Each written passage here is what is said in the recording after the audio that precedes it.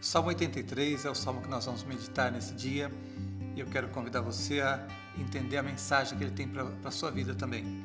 Versículos 1 ao 4, ele diz assim: Ó Deus, não te cales, não te emudeças, nem fiques inativo, ó Deus. Os teus inimigos se alvoroçam e os que te odeiam levantam a cabeça.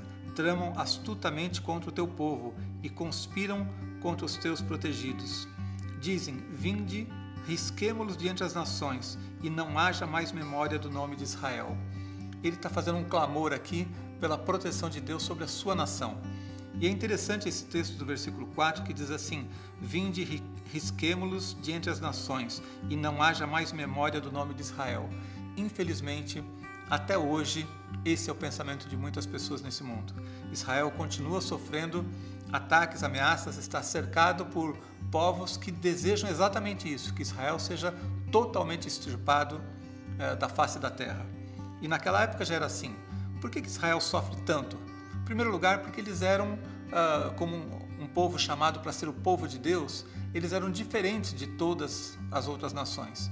Enquanto todos os povos eram idólatras, só Israel tinha uma mensagem de que Deus era único. E quando você é diferente, é muito mais fácil você ser discriminado. Então, Israel sempre foi perseguido por ser um povo que pregava que Deus é o único Deus. Além disso, Israel tinha, uma, tinha e tem uma posição estratégica. Quando os inimigos, quando os impérios do sul cresciam para conquistar terras ao norte, tinham que passar por Israel.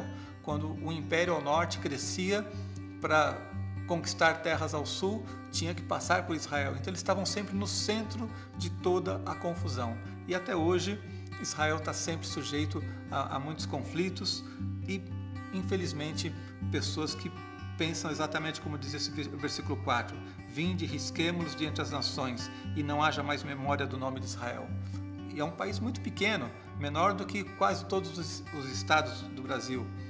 Então, diante dessa situação, ele clama e pede que Deus os abençoe, que Deus venha socorrê-los, que Deus seja o seu juiz, que Deus seja aquele que vai comandar os seus exércitos e dê a vitória a Israel.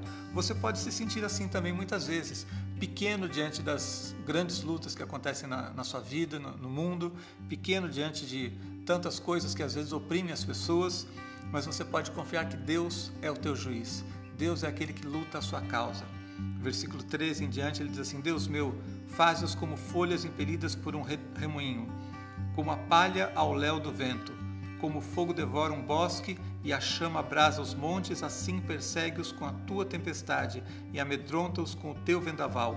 Se você confiar que Deus é o teu Senhor, que Deus está na tua vida, na tua história, que mesmo você se sentindo pequeno diante das lutas, Ele vai te socorrer. Você vai poder dizer, como no versículo 18 termina o salmo dizendo assim: e reconhecerão que só tu, cujo nome é Senhor, és o Altíssimo sobre toda a terra.